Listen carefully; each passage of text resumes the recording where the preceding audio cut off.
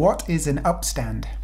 An upstand is a border strip of material, usually the same material that your kitchen countertop is made from, that sits upright at the back of your countertop against the wall. They are typically between 60 to 150 millimeters tall and 20 millimeters thick. An upstand is used to create a seal between your countertop and wall to prevent any liquid or crumbs falling down behind your kitchen countertop. Also helps to create a neater finish against the wall, especially if your wall isn't straight. So now you know.